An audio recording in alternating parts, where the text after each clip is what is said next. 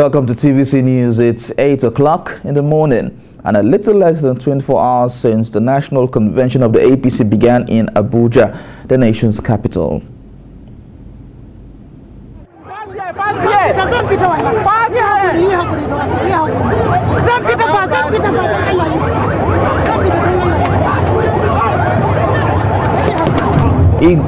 Eagle Square, venue of the convention, had an unprecedented crowd gather, creating initial security concerns for the police. After surmounting that, the event kicked off as delegates arrived one after the other.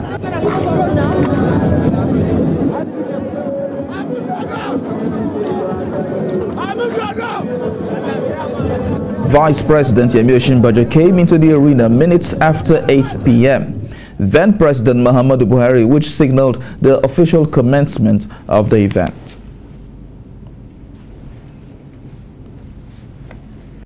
Looks like Mr. President has taken a leave from the Eagle Square. And now it's official. The APC has a brand new national chairman. He is Abdullahi Adamu, who emerged after six other aspirants stepped down for him in a consensus arrangement worked out by the president and other leaders of the party. 77 other officers of the party came through the initial unity list announced by the chairman of the election committee of the convention, Abubakar Badaru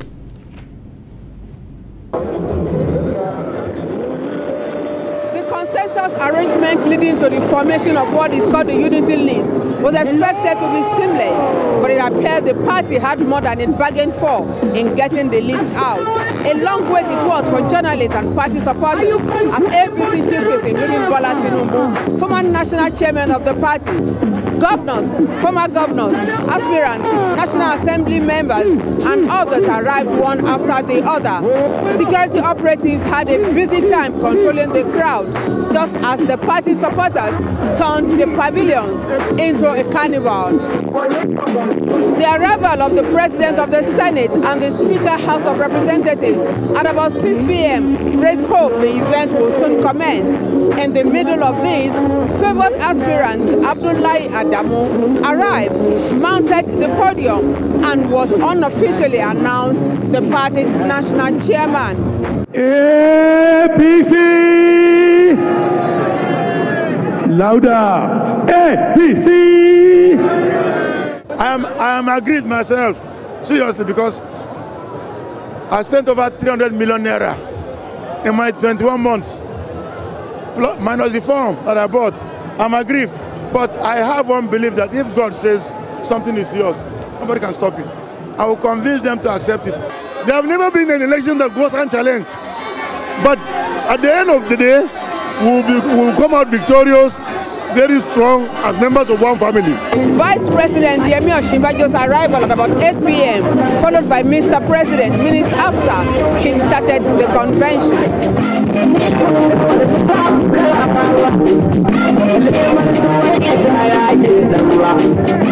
Speeches from notable party leaders followed from the Speaker, House of Representatives, to the President of the Senate, the Vice President, and President Muhammadu Buhari, messages of hope for the party in the coming years were resounding.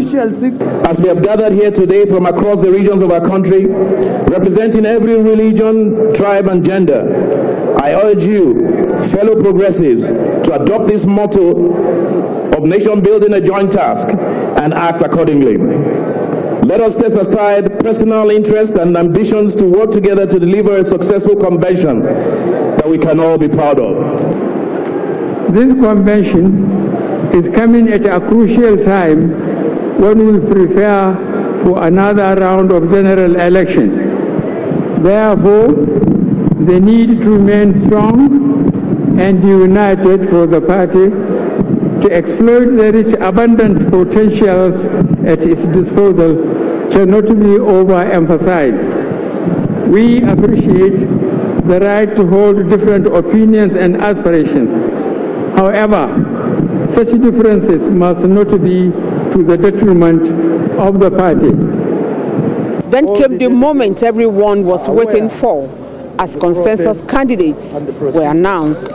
Given the power vested to me, I declare the position of national chairman to Senator Abdullahi Adamu Aleru. Having sat Few aspirants refused to step down, giving room for another round of consultation.